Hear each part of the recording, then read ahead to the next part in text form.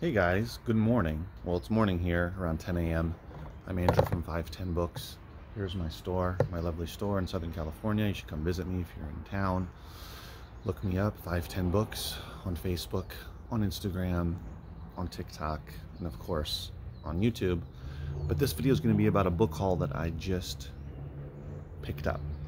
So I filled my SUV with books or boxes of books, roughly 20 to 25 boxes. The size of the boxes varies. Most of them are on the smaller side. There are a few larger boxes and most of the items are books. I saw a bunch of Seinfeld TV box sets and a random CDs here and there. And this. So, you know, some random stuff. But this is somebody that, the reason why I'm excited about this, I might not seem excited, but I am inside. The reason why I'm excited about this pickup is because I have a website, 510books.com. Uh, I put it together, so it's not that great, but it does function. And I do have a page for free book and media pickups. So it's a form that people can fill out with their information, contact information, the amount of boxes, um, books they have, or loose items they have, etc. Just information. Uh, they hit submit. I get that as an email, and I can contact them. So this is the first time that someone used that. I have not done any sort of SEO or anything for my website. Uh, so uh, it turns out that this was not somebody who Googled me or searched me online or on their phone or whatever, that they were told by someone else that I have that service. So regardless though, that's where I'm heading is that page will ideally uh, be found. And you know, people will send me their information uh, and I'll go pick up the books. So this came from, long story short, someone passed away. This was in someone's garage and I really helped them out by just picking it up, you know, real quickly, get it out of their hair, that kind of thing. So let me show you generally what I have here. Here's one box where I took this cool little jar, which I know nothing about. But yeah, so as you can see, there's also random Okay, back to it. There's a camera in here. Anybody know about cameras? Kodak Cameo Motor 110. That's in here. There's some CDs. Anyway, there's random stuff. Let me show you the rest of it. Here we go. So my back on my SUV, and I don't have a big SUV, uh, is packed. I had to smash these boxes down here and here just to get it closed. Yeah, it's, it's totally packed. So I will be digging into these books. I only have maybe three hours to get through them, so I'll be pretty ruthless about it. Just by first glance, most of them look to be fiction, but there's probably some nonfiction in there. Apparently she collected biographies of famous people. She has a bunch of Princess Di stuff. There's a bunch of magazines in there about her. So we'll see. This might be an eBay kind of a situation, but I will let you know as I dig through it. Let's go. Here is the dent I have made so far. If you can see, cleared out this side pretty well. And working on this box over here. Here so far is what I have. So this little pile, this pile, this pile is all for for my store, for my bookstore, right here. Bookstore, sell the books, bookstore for over here. This is a growing pile of, uh, what is it called? Princess Diana books. I am going to see how many I get together and then see if it's worth putting up on eBay. I have two Ivana Trump books. We'll see if there's any more that pop up. I don't know if it's worth it to do those two. We will see. This is all eBay. I've got three individual books and I've got this Food Network magazine lot going. And this, awesomely, is all at Amazon. This is all merchant fulfilled. Got one, two, three, four, five, six, seven so far. So that's been great. And yeah, let's keep at it. Here we are, checking back in, finishing up this box, which is ripped open. Then I've got this box to go. And that's it. As you can see. So I will share with you what I have found in just a moment once I finish. Boy, there are a lot of, what do you call it? Scandalous kind of books. like a lot of stuff on the Kennedys, a lot of stuff on political figures, um, gossipy kind of things, also the royal family. So yeah, a lot of that stuff. Yay. Yay, yay, yay. I finished. And this table, this beautiful layout, kind of feels like it's a, like I'm having a yard sale. But thought I would lay things out nicely so everyone can see them. So everyone can see them. And show you what I got. So this is after going through everything, all 20, 25 boxes.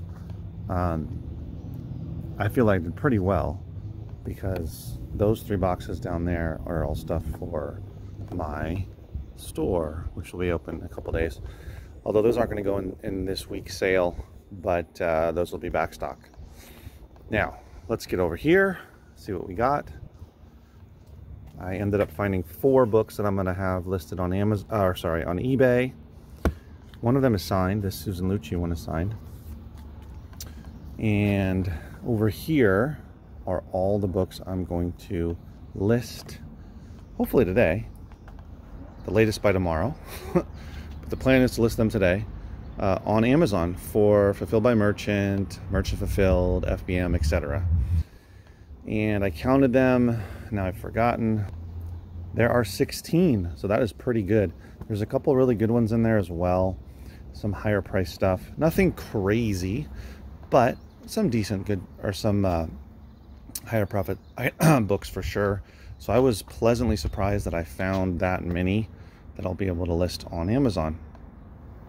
This is the stack of Princess Diana books, which grew to quite a substantial amount, including this Star magazine from 1997 and this Globe magazine from 1997 as well. I didn't look those up individually but I figure that with all these books and those star magazines would be a good amount of money. So we got one, two, three, 13 books and three magazines. So there's these two magazines and there's another one here as well. So that is quite a lot. that is quite a good amount and that is quite a an eBay lot. Not sure what I'll price it at, but when I get around to listing it, probably this week while I'm in the store, uh, I will price that out and see what that can go for. I ended up only finding this one, which is Ivanka Trump, the daughter of Ivana Trump. So I might not do those or um, list those on eBay. We will see. But I'm definitely going to list these. Cliff Notes, there's 14 of them. They don't go for great money, but they still go for some money. These are all newspapers about 9-11. So there's USA Today, Los Angeles Times, Daily News, New York Times, Los Angeles Times. So what is that, five? So I will put those up. Uh, I'll do a little research first just to make sure that it's worth it, but I assume it is because there's five of them. I also have two of these very old magazine, newspapers rather, that have John Travolta on the cover.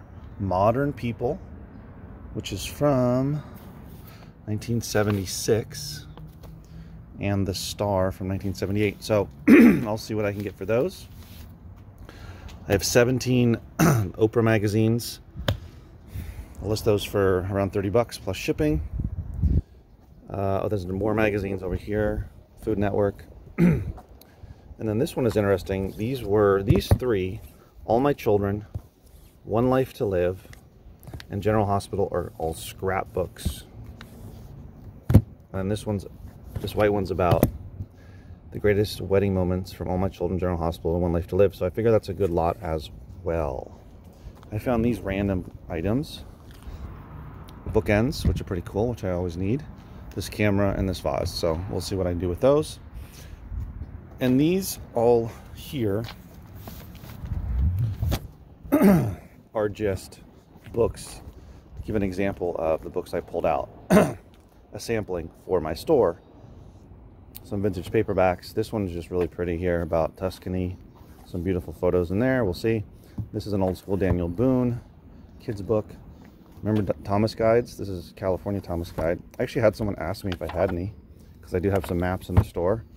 This is, see if you see it over here, Walt Disney Epcot.